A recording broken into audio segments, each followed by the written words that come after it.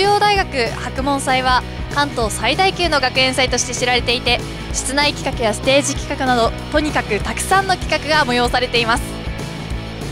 目立つ格好をしている人がいらっしゃるので話を聞いてみたいと思います。あこんにちは。こんにちは。お話よろしいですか？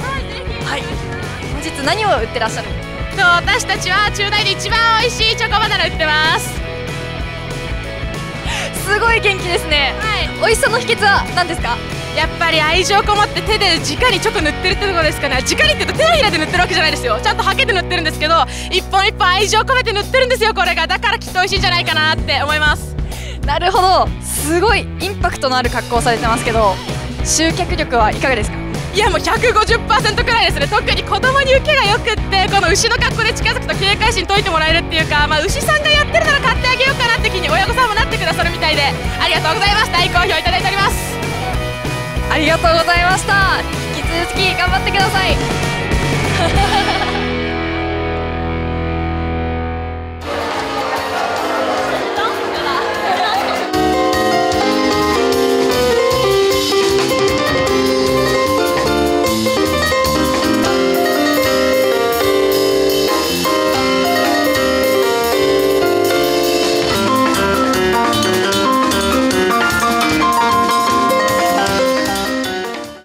れ様でした。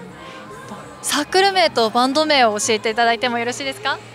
軽音楽同好会のジャムというジャズインストのバンドです。今日演奏していた曲っていうのはどんな曲なんですか？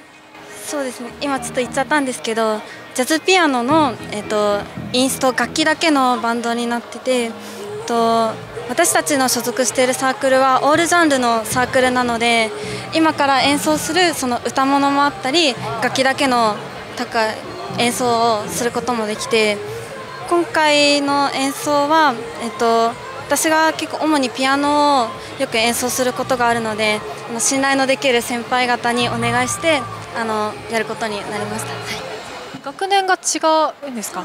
私が2年でベースの先輩が3年生で今もうすぐ上がるドラムの先輩が4年生になります。はい。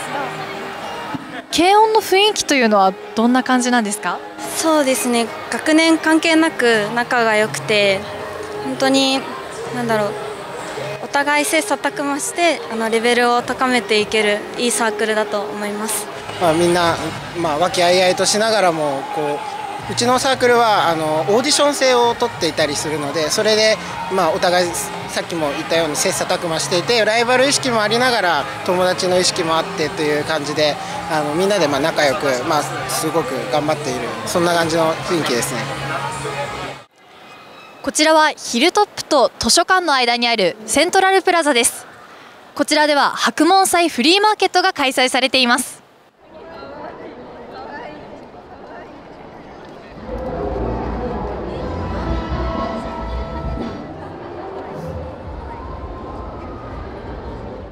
日は何を売ってらっしゃるんですか？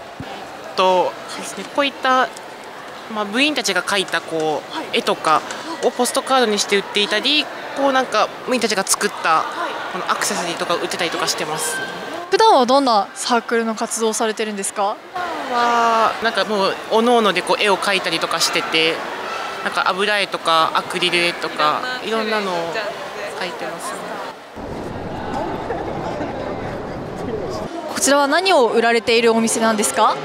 えっと、ハンドメイドのアクセサリーや布小物を作っております。地域の3人のママさんを中心にみんなでハンドメイドを作って売ってます。はい。すごい可愛いですよね。何がよく売れてるとかってありますか？今日は学生さんもいらっしゃるのでピアスとか大人向けのものも売れてます。はいお話ありがとうございました。ありがとうございます。買っちゃいましたか？買っちました。すごい良心的な価格で売ってくださいました。やった